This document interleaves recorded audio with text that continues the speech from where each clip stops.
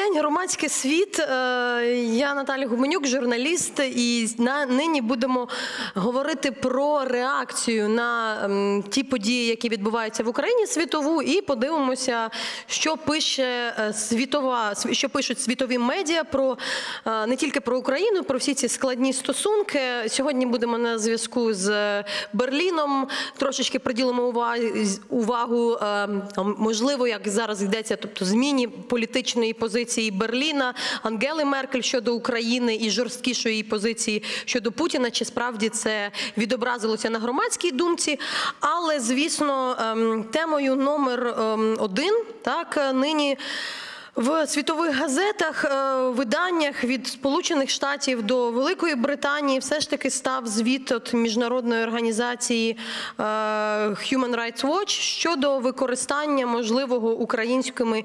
Військовими і не тільки українськими військовими касетної зброї. Я попрошу просто показати моїх колег е, заголовки найголовніших видань. Просто ми проаналізували багато, не будемо їх цитувати. Е, Зазначають Guardian, наприклад, британське видання, що Київ заперечує це використання, е, що бойовики, наприклад, не змогли прокоментувати таке рішення. Також. Ем, BBC, е, телекомпанія і один з найпопулярніших сайтів е, говорить про також звинувачення у використанні смертельної зброї. Ми пояснимо, чому касетні е, бомби заборонені. Вони розлітаються на велику територію і таким чином можуть бути уражені люди. Ми можемо бачити, що і Вашингтон Пост теж говорять про саме ці події. І ми сьогодні сьогодні також з'явилося повідомлення від. Місії спостерігачів ОБСЄ, які е, працюють в Україні, і ми самі зателефонували е, речнику. Майклу Боцюрківу, який можливо відомий, пам'ятаєте його добре, коли тут була аварія, е, постійно аварія малазійського Боїнга. Він постійно коментував ці події. І е, ось що він сказав. Буду зараз. Ми зв'язалися з ним буквально перед нашим ефіром е, ну, трошки раніше, бо він має кудись летіти. Мав в прямому ефірі не міг, бо, бо десь в літаку. Е, і е, зараз я буду перекладати вам, розкажу основну позицію. Але е, ну, тобто, якщо підсумувати, то ОБСЄ говорить про те, що в них працює 90 до 100 спостерігачів. Це так само і люди, хоча це цивільна місія. Серед них є військові, які розбираються в такій характеристиці зброї. І якби е, були такі випадки, вони можливо зафіксували, але таких випадків вони е, не помітили. Тому зараз ліпше надати слово прямо Майклу Боцюрківу.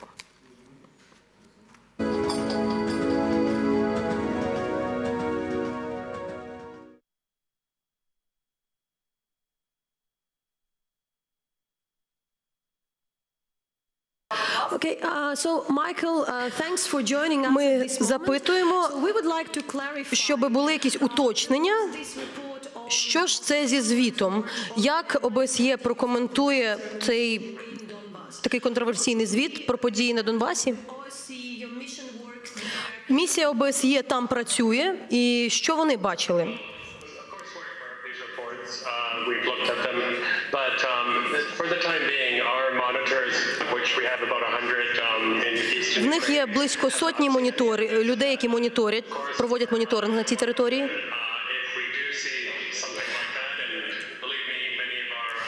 І багато з цих людей це люди, які є фахівцями, мають колишній військовий бекграунд, щоб побачити, чи є е, були саме такого роду боєприпаси використані.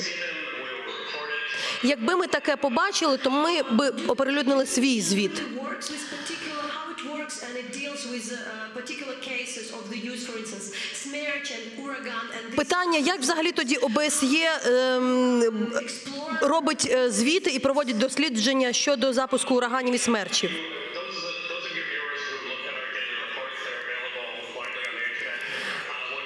У них е, ну всі звіти ОБСЄ вони публікуються.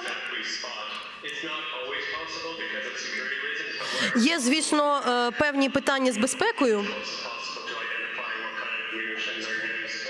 But again, I must repeat, um, for the moment, um, we have not seen. Але е, коли вони відвідували певні позиції, куди вони могли б дійти, е, вони не зафіксували таких порушень. Звісно, вони хочуть уточнити, що частина особливість їхньої місії, що вона нейтральна. І що вони е, ніколи не спираються на звіти медіа чи інші якісь такі е, ресурси, але тільки те, що бачили на власні очі.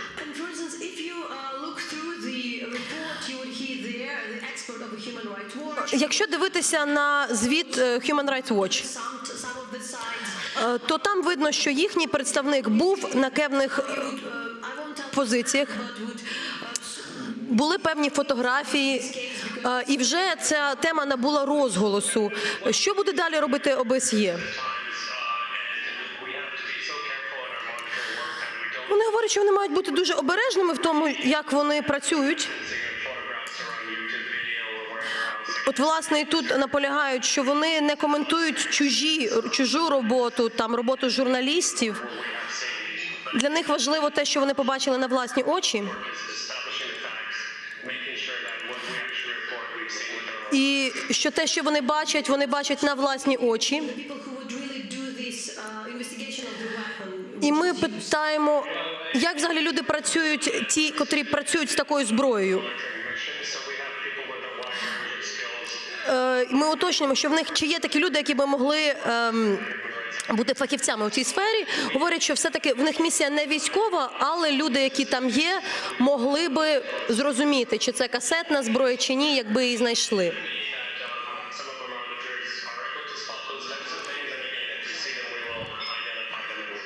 І якби вони їх ідентифікували, то вони б написали це в звіті. Але ми тоді знаємо, що зараз е, при перемир'я як таке толком не існує і є постійні обстріли. Е, скажіть, будь ласка, що місія ОБСЄ скаже? Яка зброя взагалі зазвичай використовується? З чого стріляють? Немає сумніву в тому, що є пос-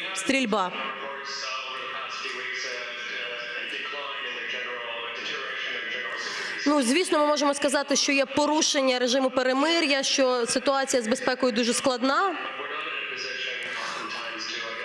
Але ми не можемо, звісно, бути завжди на місці, де е, відбуваються ці ем, сама стрільба.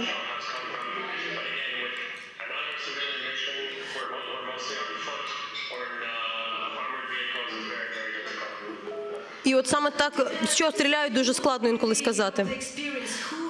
І в нас питання: а хто ж від, якщо треба з'ясовувати, проводити розслідування, якому б довіряли, хто би міг його зробити? Якщо є якісь підозри, яка організація є авторитетною, якій би довіряли? Хто міг би це зробити?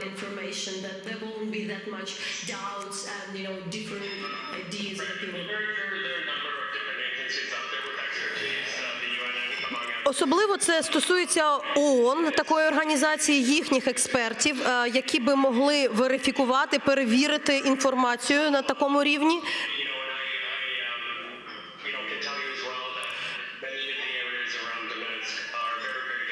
І можемо сказати, що багато територій довкола Донецька вона є дуже дуже небезпечною.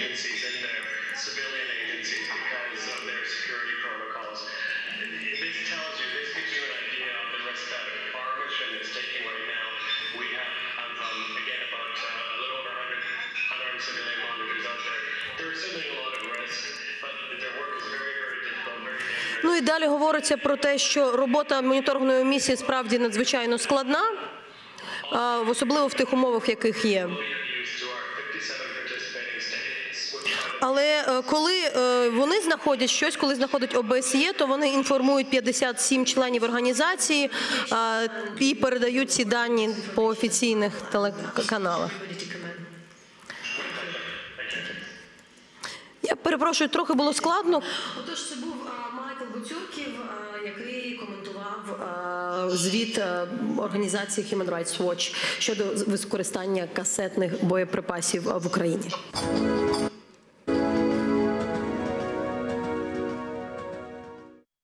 І тут, і там, так ми от тільки що поспілкувалися. На жаль, трошечки був е, для сприйняття складний саме запис через якийсь інтершум, там де був пан Буцюрків.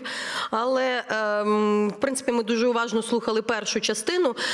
Але Пояснити також ми намагалися зв'язатися з місією Червоного Христа, але уточнимо в українських медіа розповсюджується інформація про те, що Human Rights Watch звинувачувала саме ну не звинувачувала, а сказала, що представник Червоного Христа загинув від касетної бомби, яка могла бути е, спрямована чи могла бути запущена представниками української армії. В звіті йдеться не зовсім так. Там йдеться про те, що е, невідомо, немає до- стовідсоткової саме ем, такої позиції, що саме ця людина загинула від такої зброї, але така зброя знайдена дуже близько до того місця, де вона загинула.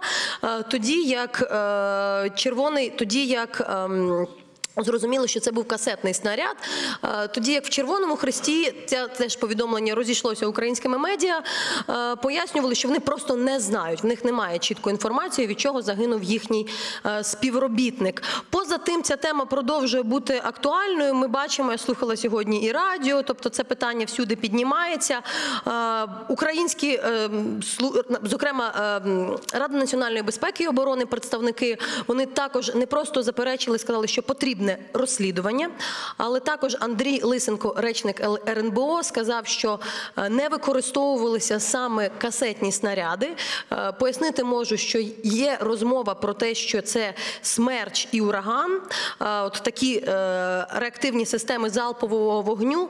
В чому суть? Вони просто є різні форми, є різні снаряди, е, якими можуть стріляти ці ракети. Це можуть бути і касетні снаряди, і не тільки. Тобто, не це і е, смерч, і ураган. От якщо ми тут можемо дивитися, так вони є там, наприклад, фугасні, термобаричні, е, запалювальні, хімічні, є так само касетні.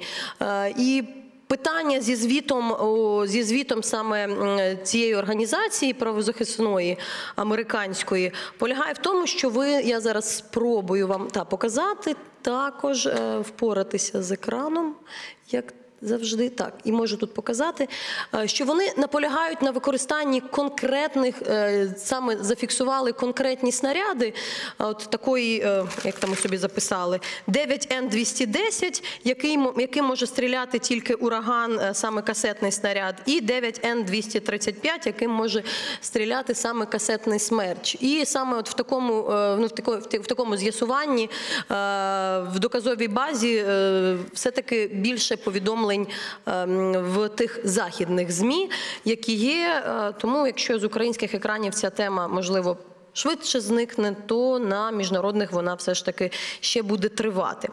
А в Польщі є свій друга тема нашої розмови. Це теж ще один пов'язаний з Україною, е, не можна сказати, скандал. Розійшлося так само українськими медіа повідомленням про те, що і не тільки українськими, що Колишній міністр закордонних справ Польщі Радослав Сікорський в інтерв'ю е, виданню політику американському е, зізнався, що е, була розмова Дональда Туска з колишнього міністра, колишнього прем'єр-міністра Польщі, нині майбутнього одного з очільників Європейського союзу, з Володимиром Путіним. І Путін пропонував розділити Україну. Багато було різних розмов про це, але у цьому ж інтерв'ю після цього е, Радослав Сікорський е, пояснив, що він жодним чином цього не говорив в в такому формулюванні. Зараз польськими медіа ведеться заперечення. Він говорить, що, по-перше, він згадав, що зустрічі е, з. Е, на рівні Путін і е, Сікорський такої двосторонньої не було е, саме в Кремлі, і він не міг знати про те, що ну тобто не міг стверджувати, що запис, що запис що.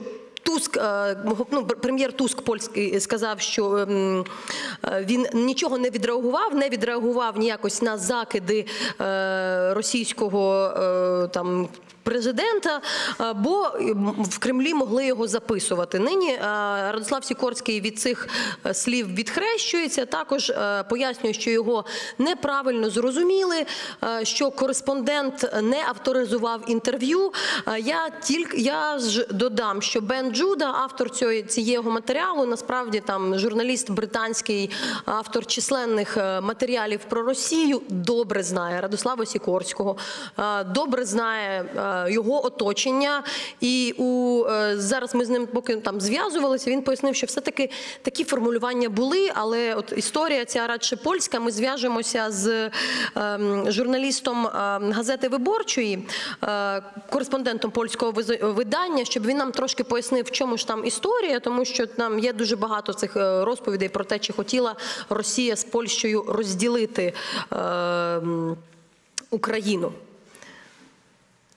Чекаємо, чи є в нас е, на зв'язку Петро.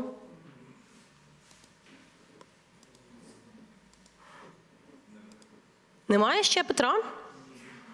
Немає ще Петра. Ну зараз зв'яжемося. Я тоді просто поясню е, радше е, про яку статтю йдеться. Завжди вибирають зі статей якісь там яскраві е, заголовки і цитати. Насправді дуже цікава ця стаття, в якій же ж була використана ця цитата, попри, ем, попри всі питання, які викликалися.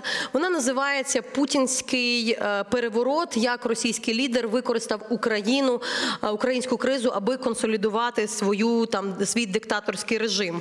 Е, Є вона зроблена на основі розмови з Карлом Більдом, колишнім міністром закордонних справ Швеції, і Радославом Сікорським, нині другою людиною в Польщі, маршалом Сейму.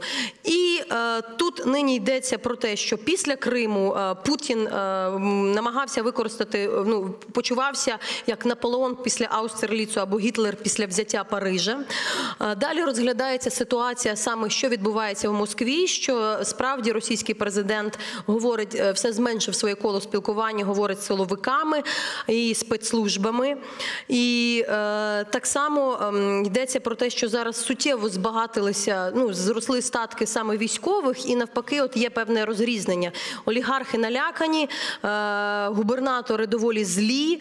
І зараз йдеться така історія про шосту колону Кремля. Це кремлівських пропагандистів.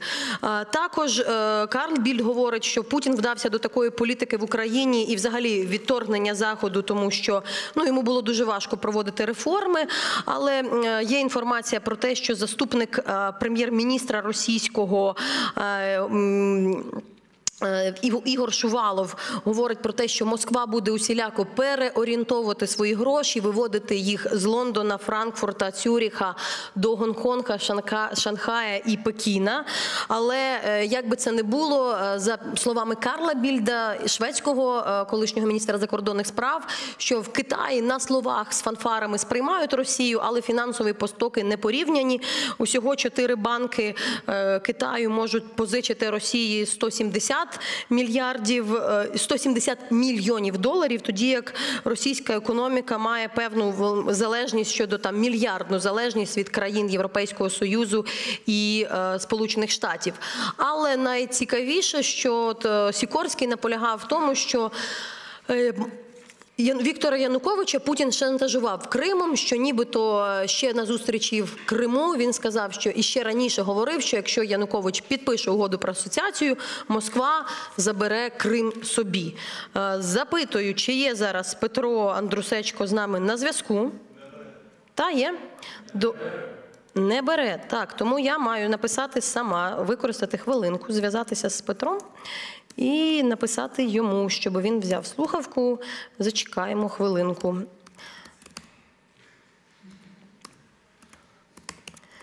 Так, зараз будемо напряму і скайпом і так зв'язуватися. Де там, бо ми домовилися буквально перед ефіром. Так. Почекаємо хвилинку. Ми маємо сьогодні трошки менш такий графік. Петро.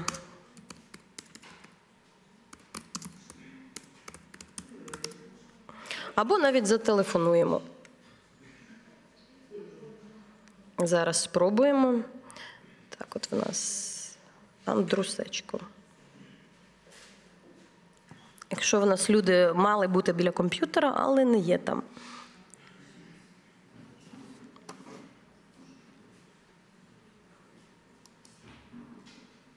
Алло, Петре, ми телефонуємо тобі зі скайпу, але ти не піднімаєш. Е... Так, вже зараз є? Вже можна набирати? Е, Не чують. Е, Говорить Петро, що не чують е, його, коли ви набираєте. Він зараз біля комп'ютера і зараз з нами поспілкується. Я, принаймні, в телефоні його скайп чую. Так, давайте. Ні, давайте ми зараз не перервемо зв'язок, щоб потім не порушувати нашу. Бо я чую там скайп в ефірі. Ні? Не чуєте?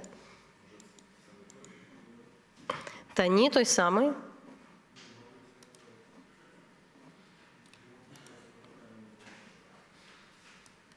Так. Давайте ще раз. Ну, якщо зараз тоді будемо говорити, я вас прошу е, в, так, в ефірній групі подивитися. Чи хто там? І спробувати зв'язатися ще раз. Так. Я маю тоді, є ще цікавий, пок- поки спробуємо ми. Бачите, Петро там чекає на наш дзвінок. Скажу, що е, ще один матеріал, на який варто звернути увагу, це матеріал в такому випадку е, з видання е, Slate, теж американського. І знаєте, як все пов'язано в цьому світі. Це все ж таки ми хотіли до іншого скайпу ним розказати. Ну, поки поговоримо про нього. Ен Еплбом, бачите, це дружина Радослава Сікорського, насправді, але публіцистка польсько-американська, теж е, такого розголосу отримала її, е, її стаття, е, яка називається що не приймайте ем, версію путінську історії. І в чому на що звертаю увагу? Тобто, ми розуміємо, що можливо в Україні це на так не здається, але європейці, багато європейців говорять про те, що чи, чи потрібно було, чи НАТО випадково не провокувало Україну, чи НАТО якось не було занадто агресивне, провокувало Росію, чи не було занадто агресивним. І Еплбом е, наводить, е, тобто це роз'яснення для західної аудиторії е, про те, що ніякої експансії НАТО насправді не було. І в 92-му році, коли і після що в за- м, в 92-му році американські ем, сенатори і конгресмени дуже негативно реагували навіть на наміри. Польщі приєднатися, і Польщі дуже дуже багато речей дуже багато довелося е, чути е, ну, відмов е, і поки провести дуже серйозні реформи, поки е, дійшли до такої згоди, е, поки там все не Польщу Польщу допустили в НАТО. Так само тут є нагадування, що жодних не було порушень, тому що не було жодного доп- допису, жодного договору, який би е, тобто забороняв якусь е, експансію НАТО. е, з Вашингтону, якої ну не зовсім так, щоб вона і була. Так само йдеться про те, що е, не розміщувалися, що не було. Не розміщувалися ніякі там бази на території е, близькі на території тих самих, наприклад, Балтійських країн чи е, Польщі. Так само в 2008 році на е, побажання України, е, бажання України і Грузії не були задоволеними. І таким чином, ну щодо вступу в НАТО, ми пам'ятаємо про цю форму е, ПДЧ. Її так само не було. Але от питання власне до, ем, до Росії. Я запитую вас, чи ми тоді можемо, якщо вас не вих- якщо не виходить зв'язатися з Петром, не виходить, так? Тоді ми зателефонуємо в Берлін. Я вас попрошу зв'язатися з Берліном таким чином, а Петрові поки будемо писати. І я теж пе- пере. Дзвонимо, я тоді паралельно буду це все робити. Ми зараз тоді зв'яжемося з Андрієм Портновим, українським істориком, який тривалий час працює саме там, в Берліні, і є там багато коментує подій, е, які відбуваються тут. І нині підготував матеріал е, серйозний про висвітлення німецьких медіа. Я пам'ятаю, влітку було багато розмов про е, Ангелу Меркель, про е, те, чи вона є прихильною до України. Зараз західні медіа відзначають, що Меркель зайняла таку активну, змінила позицію з такою посередньої, зайняла активну. Антиросійську позицію це так сприймається в Німеччині і. Е, Так, в Німеччині, і тому е, ми зараз перепитаємо, чи справді якось змінилася громадська думка. Вас, от обидва всі на зв'язку. Запитуємо, чи є в нас Андрій зараз на зв'язку. Є, добре. Андрію, е, дякую, що е, є в нас зв'язок. Ми дуже раді сьогодні так, такий день. Розкажи пр- справді, чи змінився якийсь настрій е, в Німеччині в останній час? І от Мій досвід не якийсь невеликий, але все одно спілкування останні за останні дні з людьми, які говорять про Німеччину, коментують, скажуть, що Меркель справді змінила е, свою позицію. Вона зайняла, вона є от саме на відміну від Парижа і Лондона. Берлін є той, хто усіляко якось тисне на Москву більше ніж інші. Наскільки це е, справедливо? Доброго вечора. Я дуже радий е, бути в цій програмі. Я би сказав таким чином, Наталю, що е, в принципі, на мою думку, і не тільки на мою думку, для Меркель е, вже від певного часу є досить очевидно, ким є Путін, чим є нинішня путінська Росія і які загрози вона несе. Інша річ, як це розуміння перекласти на конкретні рішення, на конкретну політику. Тут є великі проблеми. Якщо ми, скажімо, говоримо про міланську зустріч, то в німецьких змі загалом про неї було набагато менше е, інформації ніж в українських, що в принципі зрозуміло, бо це тема, яка більше важить для України. Якщо ж ми подивимося на заяву, скажімо, сьогоднішню заяву Штайнмаєра, міністра закордонних справ. ем, Яка з'явилася в Дітсайт, і навіть зеркало тижня встигло з помилками її перекласти, е, то він там повторив в принципі ті самі речі, які говорилося раніше повторив, що він вважає важливими вибори на е, так, тимчасово зайнятих е, територіях е, Донбасу, на територіях ДНР і ЛНР в грудні дуже важливими. Але в цій заяві Штайнмаєра, наприклад, нема ані слова про ті вибори, які ДНР і ЛНР проводить от зараз на носі. Правда, на початку листопада. І в мене таке враження, що загалом німецький політикум, політичні еліти, вони надалі не дуже знають, що робити в цій ситуації. Тобто вони щоразу краще розуміють, якою, якою страшною загрозою є Путін і путінська пропаганда, яка, до речі, в Німеччині квітне повсякчас. Але надалі бракує чіткого бачення, що робити в такій ситуації. А що е, чи є якась в принципі інформація, що далі, окрім цих виборів в Україні, якоїсь там е, там йдеться про деескалацію, але от якщо процес загрузає, чи ну я розумію, що відповідь була та, що Берлін не знає, що робити, але на словах вони хоча б щось говорять. Отже, я би сказав таким чином: по-перше, ми повинні чітко розуміти цю річ в Україні, що від часу е, оголошення того останнього так званого перемир'я українська тема зникла з таких топ-тем німецьких змі. Це перше. Тобто, аби Україна була е, на перших е, рядках і на початку новин, це, на жаль, мають бути воєнні дії і багато жертв. Тобто зараз це не є тема, яка обговорюється повсякчас. Це перше.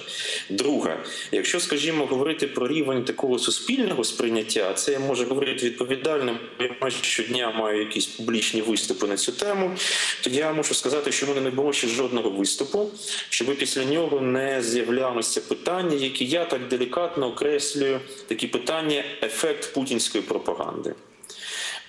Про що йдеться? Йдеться про те, що дуже поширений образ подій в Україні як громадянської війни, в тому сенсі громадянської війни, що це є локальний конфлікт, який взагалі дуже мало стосується німецьких справ, і в якому росіяни воюють з українцями або російськомовні з україномовними.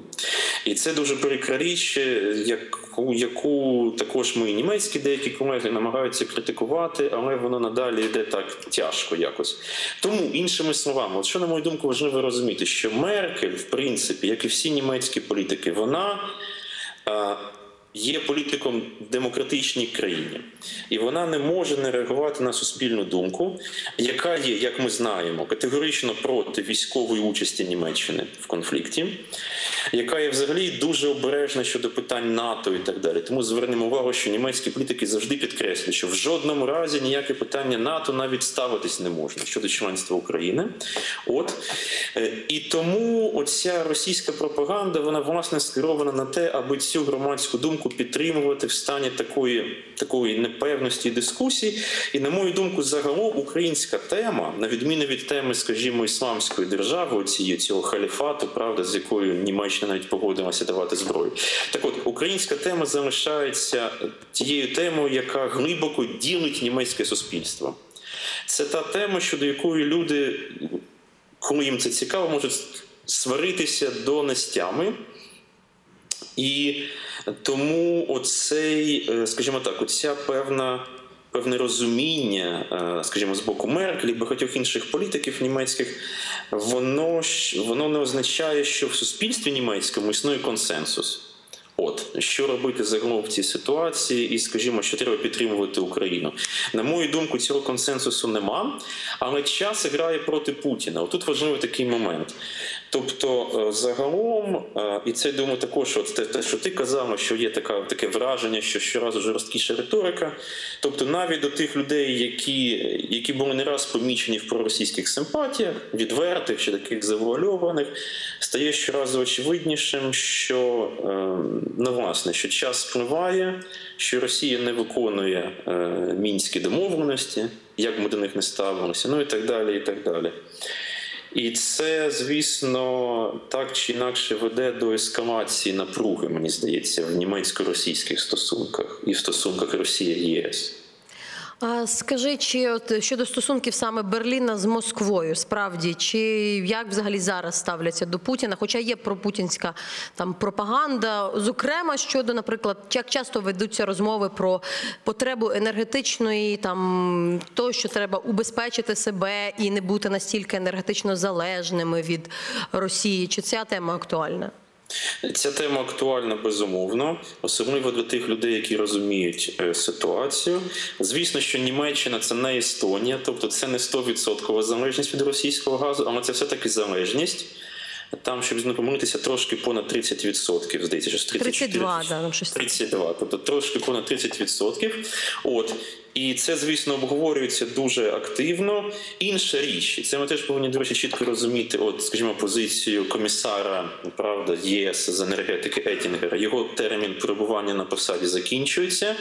У мене також є враження, що і він, і інші німецькі еліти, скажімо так, вони б дуже хотіли вирішити питання з газом для України до його відходу з цієї посади. От, е, але знову таки підставове питання, що е, підстав довіряти, скажімо так, Газпрому, Кремлю в цій ситуації в принципі немає. І якщо говорити про німецькі політичні еліти, то за моїм е, відчуттям є одна партія, скажімо так, парламентська партія в Бундестазі, це партія зелених, яка є послідовно, ну скажімо так, умовно проукраїнська, тобто яка закликає до найрішучіших кроків щодо підтримки України. Є партії більш-менш реалістичні, то це правляча коаліція, значить, це ЦДУ Меркель і соціал-демократи Штайнмаєр. Ну і є, звісно, Ділінке, друзі Путіна ліворуч. І є друзі Путіна праворуч, які поки що не є в парламенті, але які мають всі шанси там скоро з'явитися, так звана партія Альтернатива для Німеччини. От альтернатива це значить, грубо кажучи, менше Європи. Андрію, а скажи, е, ми знаємо, що зараз немає посла е, України в Німеччині досі. Е, Колишній став нині міністром. Нам сказали, що дуже гарні тепер відносини через це, і так непогані в Україні з Німеччиною. Що робить Україна? Чи є якісь от дії? Знаємо, що пропаганда путінська є. Є російськомовний телеканал, на який виділяються великі гроші. Там цей раптли.